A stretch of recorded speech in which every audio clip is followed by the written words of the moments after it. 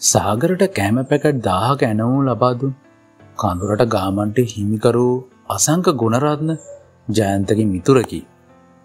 ජයන්ත බණ්ඩාරවෙල සිට ගෙදරෙමින් උන් උදේක අසංකට ඇමතුමක් ගත්තේය. ඒ ගම්පොලදීය. අසංක මචං මන් ජයන්ත. කොහොමද මචං? ඔබ ෆැක්ටරී ඉන්නවද දෑන්? මං ඉන්නවා මචං. වරෙන්කෝ. ඔබ කොහෙද? මං ගම්පොල එන ගමන් එන්නම්. ජයන්තාවේ තනිවමය. ජයන්ත ෆැක්ටරී දොරකඩ වාහනය නතර කර බසිද්දි වාහනයකින් ෆැක්ටරීට කෑම් පැකට් බාමින් තිබුණි.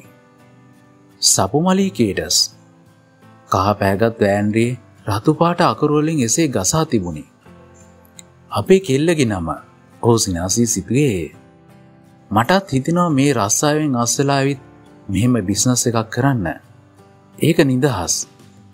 ජයන්ත සිතිය තනිවමය. ඔහු ආනෙන් බැස වෑන්ඩීන් බාන කෑම පැකට් පෙට්ටි දෙස බලාඉන්නේ ආශාවෙනි. ඒ හැම පෙට්ටියකමත් සපුමලිය කේට සැනුවෙන් ගසා තිබුණේ. කරන කවුරරි හරි ලස්සන්ට වැඩේ කරනවා. ඔහු සිතුවේ. කෑම පැකට් බාමින් උන්නේ චන්නත් තවත් කොල්ලෙකුත්තය.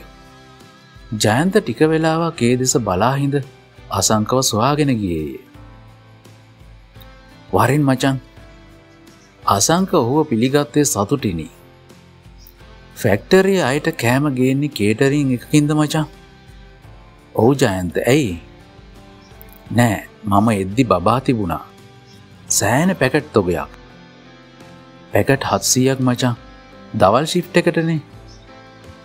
පැකට් හත්සියම දෙන්නේ අර ආපු සපුමලි කේටස්සකෙන්ද ඕ මචං ඇයි නිකා මචං ඇහුවේ මගේ දුවගේ නමත් සපුමලි කරන කෙනා ලස්සනට වැඩේ ගන්නවා උඹ කිව්වොත් පුදුම වෙයි ඕක කරන්නේ පොඩි අහිංසක කොල්ලෙක් අවුරුදු විසි අතරක් පහක් ඇති දැක්ක දවසේ මටත් පුදුම හිතුනා එච්චර පොඩි කොල්ලෙ ජයන්ත දැසයි පුදුමේනේ අපි මචම් මේවා පටන් ගනිදි තියත් පහු වෙලා ඒවත් පටන්ගත්තේ බෑන්ක් ලෝන් ගහලා.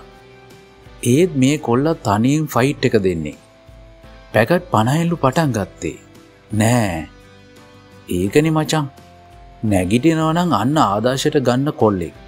ඒත් කොල්ල අහිංසකයා ඔය තුන්ග නිදහස උඹ කියන්නේ මාත් දවල්ට ගන්න ඔය පැකට් එක. උඹ හිටපංකෝ. අසංක එසේ කියා දුරකතනය අතර ගත්තේ. මට අර සපුමලි කේටර්සලින් ආපු ලංච් පැකට් දෙකතුනා කරඟන්න. ටිකකින් සේවකෙක් ගෙනවිත් පැකට් තුනා කසංකගේ මේසේ මත තැබුවේ. උබෝය පැකට් තුන අරම්පාලයන් අද ගෙදර. මං කියනවට කාල බලපම් මචං උඹට පුදුම හිතෙයි. එච්චර්රාද කාලම කියපංකෝ අපේ කෙල්ලට ගිහින් දෙන්න ඕන කෙල්ලගේ නමනේ ටික වෙලාවක් කතා කර කර සිටි ජයන්ත කඳුරට ගාමන්ට ආයතනයෙන් පිටවූයේ අසංක දුන් කෑම පැකට් තුනද රැගෙනය. ජයන්ත නිවසට එද්දි සපෝත් සුජාතාත් දයස්රී මහතත් තිදෙනාම උන්නේ සාලය කතා කරමිනි. තාත්තාවා සබූ කිවේ පුටුවෙන් නැගිටිමිනි. සුජාතාද යනුව නැගිට දොරකටට ගියාය. තාත්තගේ මූනාද හරි සැනසිලි පාටයි නේද අම්මා පොඩි මනමාල පාටකුත් තියෙනවා ඉස්සර ලව් එක මතක් වෙලාව එන්නේ. සුජාතා සිනාසුනාය අම්මගේ සිනාව ඇත්තේ දුගකයි ඇයට සිතෙයි. තාත්තා කෑම මුණාද තරංගෙනව අම්මේ ජයන්තක අතේ තිබූ කෑම පෙට්ටි වැනි දෙයක් දැමූ බෑගිය දෙක සපූ කීවාය. පුදුමයි ජයන්තාවේ සිනාසෙමිනි. තාත්ත කෑමත් තරංගාවද ඉන්නක කියන්න ජයන්තාවේ එසේ කියාගෙන මේ සපු අම්මා දෙස බැලුවේ පුදුමේනි. එන ගමන් මං මගේ යාළුවගේ ෆැක්ටරි එකකට ගියා පේරද්දනයේ කඳුරට ගාමන් කියලා. සපූට ඒ නම මතකය. සාගරට කෑම පැකට් දාන්න ඕඩරයක් ලැබුණේ ඒ ගාමන්ටකෙනෙ. එතනින් බහිද්දි වෑන් එකකින් ලංච් පැකට් සිය ගණන් බානවා. බැලුවම ඔයාගේ නම සපෝගේ අටිපතුල් සීතලවේගෙන ගියාය. ඇය එහෙමම් බැලුවේ අම්මාත් සීයාත් දෙසය. මේ සපුමලි කේටස් එක කෑම. කඳුළු උනාගෙන ඉන්නේ ඈත සිටේ. තමාගේ දෑස්වලටත් පෙර අම්මාගේ දෑස් පෙඟී තිබුණු සපූ දැක්කාය. අසංක කෑම එක හරියට වර්ණා කරලා මට මේ දුන්නේ. ගෙදරගින් කන්න කියලා. ඔයාගේ නම තියෙන නිසා අරංආවේ සපූගේ ඇතුලාන්තේම තැවෙයි අම්ම ඇස්වලින් කිවේ කුමක් දැයි සපූ තේරුම් ගත්තාය. ඇය කීවේ දැන්මම කිසිවක් නොකියන ලෙසේ මේ බලන්න තාත්තේ රහ පාටයි නේද? දෑසිරි මාතා ඇස් පිසදාගෙන කෑම එකට එබුණේය. බලන්න ආපු සුවඳ විතර අසංක කිව්ව හරි රහත් ඒ වගේම ඇති. අද තාත මේ බත් එක කන්න. අපි දෙතුන් දෙනාම කමු. පොඩි කොල්ලෙක්ලු කරන්නේ. තාම අවුරුදු විසිහතරලු. අසංක කොල්ලට මාර ආදරේ. හැදෙනවනං අන්න කොල්ලලු. සපුට ඇඩෙන්න්නට වගේය. චූටි මැනිකට සනීප නැද්ද? ඇගේ රතු දෑස්තක ජයන්ත ඇසුවේ හෙම්බිරිස් අවතාත්තේ හවසට යම් බෙහෙත් ටිකක් ගන්න. මේ සියල්ලම ඉක්මනටම ජයන්දර කිවයුතය සුජාතා සිතා ගත්තාය. අපට සපුමලී කේටස් කියලා මේ වගේ පොඩි කේටරින් සර්විස් එකක් තිබ්බන නේද තාත්තේ. මේ රස්සාවල් මට එපා වෙලා. තියෙනව තාත්තේ අපට තියෙනවා. සපුමලී කේට ස්වාගම පුතාගේ. සපුට එසේ කෑගසා කියන්නට සිතුනේ. අපට ලැබෙන්න තිබ්බේ මේ වගේ දෛරවන්ත කොල්ලෙක්ව. මොකෙද්ද හම්ම වුණේ ඊ ඇවිත් මට පාට්දාලගේ මට පුදුම කලකිරීමක් ඇති වුණේ අපට ලැබෙන්න තිබ්බේ මේ වගේ ධෛර්යවන්ත කොල්ලෙක්ව. ජයන්ත කිව් ඒ කතාව සපූ පමණක් නොව. සුජාතාද දෑසරි මහතාද සිතින් නැවත නැවතත් ප්‍රතිරාවය කළවය. කෙල්ල කාමරට විය ඇන්ුවේ සතුටටය. සමහරිට ජීවිතය අදතරන් සතුරන දවත් දවසක් ඇත්තටම නැත. දෙවියන් අරතරන් දුක් දුන්නේ මේ සතුර දෙන්නටම විය යුතුය. සුජාතා පැමිණ කෙල්ලගේ හිස අත ගෑවාය. ඇහැ උන්නේද කෙල්ල තරම්ම සතුටිනේ. අපි කරන්න ඕන දේ දෙයොම කරලා. මට කොල්ලා ගැන අමුතින් වර්ණා කරන්න දෙයක් නෑ දැන්. පුදුමයි අම්මේ දෙයෝ ඉඳල හිටල ඒ වගේ පුදුම් වැඩ කරනවා පුතේ. තාත්තටම මේව පිනිච්චිකයි පුදුමේ. එයාටනි පේන්න ඕන. අපි කොල්ල ගැන දන්නවනේ. සුජාතා කෙල්ලගේ හිස අතගාමි සෑහෙන වෙලාවක් උන්නාය. පුතේ අම්මේ මං රෑට තාත්තට කියන්නද මේ උණුසුම්වීම තාත්ත පුදුම වෙයි. සපුමලී කේට සපේ කියලා දැනගත්තම. ඔයාගේ නම තියෙන නිසා හරි ආසාාවෙන් ඉන්නේ. කාමරට ගිහිනුත් කියනවා එහෙම ඔයාගේ නමදාලා බිසන්ස එකක් කරන්න ආසලු. ඒ ආසාාව දැන් හරිනි අම්මා මං කිව්වා මොකක්ද හිතේ තියෙන ගොඩක් දේවල් ඉෂ්ට වෙයි කියලා.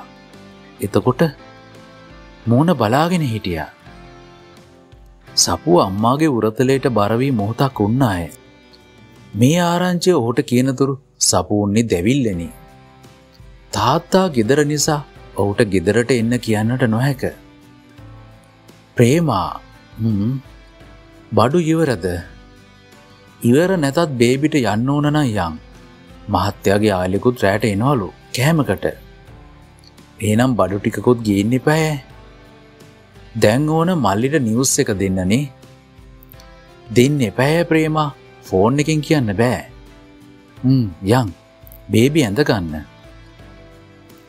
ජයන්තුන්නේ එලිය පත්තරේ බලමින් තේකක් පොමිනි ඔහු මෙහෙම මේ ගෙදර ඉන්නවා කියා හිතද්දීත් පුදුමය. සපූ මුලින්ම ගිය අම්මා ළඟටය. චුට්ටක් ගිහින් ඉන්න දම්මේ ප්‍රේමට බඩු මොනාද තෝනලු. කෙල්ලට ඕන ඔහුට මේවා කියන්ට බව සුජාතා දනේ. ඉක්මන්ට එන්න. තාත්තාත් ගෙදරනේ. ගිහින් කියලම එන්න ජයන්ත කොහොමත් උන්නේ කෙල්ලස් සමඟ කතා කරන්නටය. ඔහු ළඟට සපු ආවිට ඔහු පුවත්පොත පැත්තකින් තබා ඇකි අතකින් අල්ලා ගත්තේ.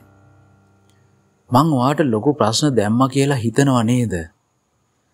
වෙච්චදේ උනානි තාත්තා මේ ප්‍රශ්නය කොහොම විසදන්නද කියලා මට තේරෙන්නේ. එයාලා කියන්නේ ඩිවෝස් කරනවා කියලා නේද. ජයන්ත ගැස්සීමෙන් බලා උන්නේ. දුවෙක්ගේ මුහුණ බලාගෙනයේ කොහොම කියන්නද. ඔවු කරන්න කියන්න. තාත්තර මගේ ජීවිතයට කරන්න පුළන් ලොකුම යහපත එකයි. ඇයිවා එහෙම කියන්නේ. මන් තාත්තට වැඳල කියන්නම් ඒ කසාදි මට එපා. සපු අඩමින් කීවේ දෑත් එකතු කරය. ජයන්ත නැගිට ඇගේ හිස අත ගෑවේ. මං ඔයාට දුකක් වෙන දෙයක් අයි කරන්නේ. ප්‍රොමිස් තාත්තා? ප්‍රොමිස් තැංකි ඔයාට. සපුූ එහෙමම ජයන්තක බඩ බදාගත්තාය. මන් ටවුමට යනවා. තාත්තර මුණද ඕන? මට මුකුත් එපා. අතේ සල්ලි තියෙනවද? අම්ම දෙයි. මගේ පර්ස්සකින් ගන්න. සපෝගේ හිතට දැනෙන සතුර කියාගන්නට බැරි තරම්ය.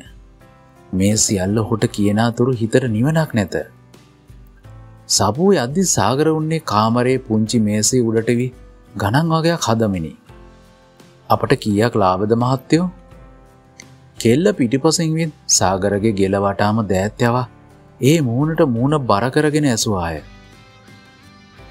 ඔහු මූුණ පසුපසට හරවා යන්තමට ඒ නිකට සිපගත්තේ.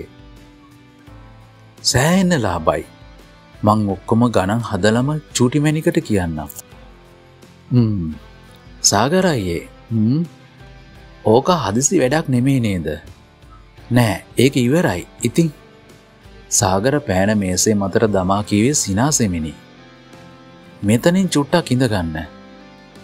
කෙල්ල ඇයි ඉඳගෙන උන් ඇඳේ වම් පැත්ත පෙන්නා කීවාය. හරි ඉඳගත්තා. ලස්සන කතාවක් අහන්න කැමැතිද. අපේ කතාවද. ඒක ලස්සනද. කියල වැඩක් නෑ. ෆිල්ම් එකකට මරු ස්ටෝරීක. සපු මොහොතක් ඒ දෑස දෙස බලාගෙනම උන්නායි. මං මේ කියන්න යන්නේ ඒ කතාවේ පුංචි ලස්සන සීන් එකක් ගැන. හා කියන්න. ඕ ඇඳ මතර කකුලක් ගෙන ඇගේ පැත්තට හැරී කීවේ. ඔන්න අපේ තාත්තා ඉන්නවනේ ඉන්නවා බණ්ඩාරවෙල ඉඳලා ආවා කොහෙද? නුවරට. හා එන ගමන් තාත්තට තාත්තගේ යාළුවෙක්ක මතක් වුණා. යාළුවා ගාමන් ෆැක්ටරි එකක අයිතිකාරයෙක් පේරාදිනී. හා මොකක්ද දන්නවද ගාමන්ට එක? මොකක්ද? කඳුරට ගාමන්ට්.